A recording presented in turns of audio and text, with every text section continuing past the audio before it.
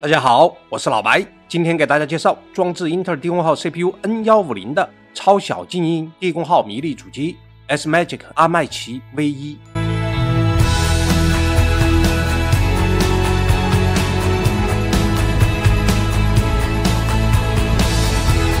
照例给大家奉上全部三十六台 N 系列低功耗小主机一览表，包含主要接口、功耗、性能释放等指标，供大家购买参考。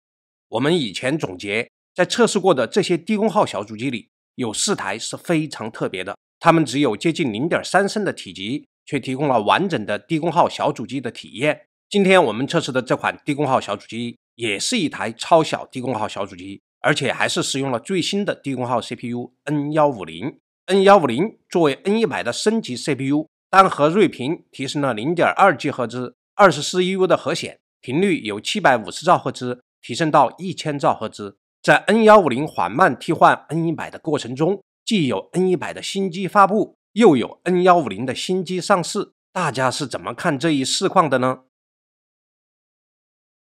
？SMagic 阿麦奇 V 一，它装置了英特尔 N 幺五零低功耗 CPU，四核四线程，二十四 EU 的英特尔 UHD 核显，最大 DDR 四三千二百兆赫兹内存，M 点二 PCIe 三点零叉一接口，双屏显示输出。千兆网卡加 WiFi 五，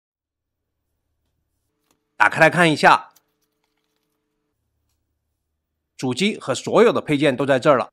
HDMI 线缆、显示器背架和螺丝、说明书。这块电源十二伏二点五安，一共三十瓦功率。我们把小主机拿到手上，这银色涂装，塑料机身，顶盖上有阿麦奇英文 logo。还挺像小一号的 M4 Mac Mini，机身接口，前面板电源开关键，双 USB 3.2A 口耳麦接口，后面板有一张贴纸，咱把它撕掉先。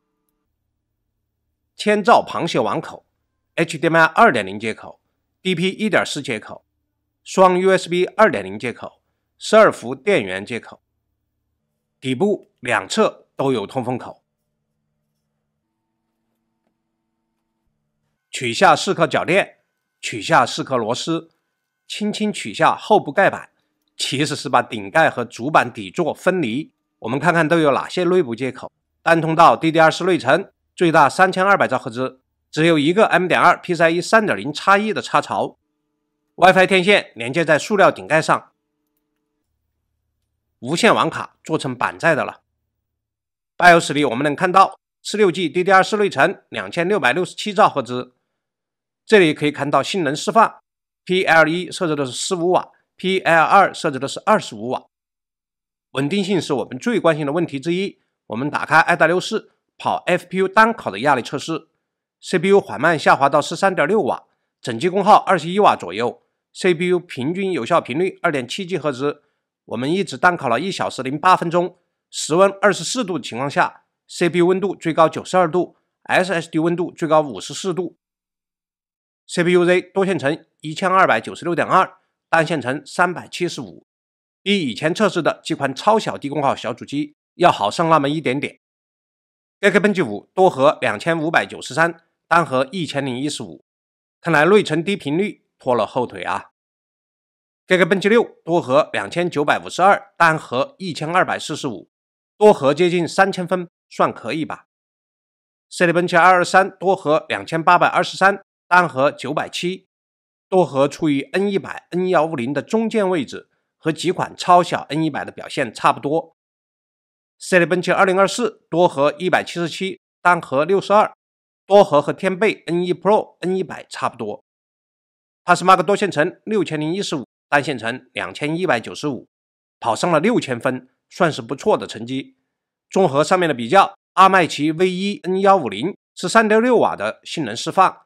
多核表现在整个 N 一百、N 幺五零的低功耗 CPU 里排在中间一点的位置，和几台超小的 N 一百迷你主机不相上下，表现差不多。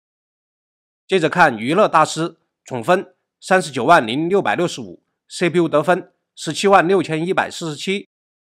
我们还给 V 一的 N 幺五零运行了 OpenW 测试，AES 五十八万一千九百九十九，叉叉二零三十万三千九百二十六或 Mark。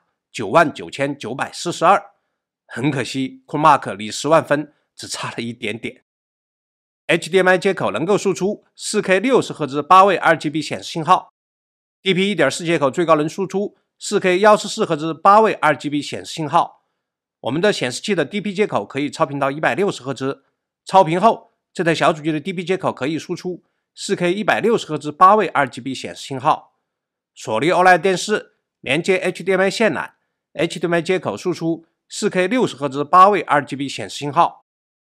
接着我们看看英特尔 UHD 核显的相对强项——视频解码，它能硬解本地 8K 60帧 AV 视频，Video Decode 百分之百了，稍微有些卡顿和丢帧。YouTube 8K 60帧 AV 视频还算能流畅播放。硬盘测试，PCIe 3.0 NVMe X1 接口接近900兆 P 每秒，这就是 X1 的速度。WiFi 测试，Realtek 8821C1 WiFi 5无线网卡。只跑了接近两百兆 bps，算是我的无线网络环境中较差的水平。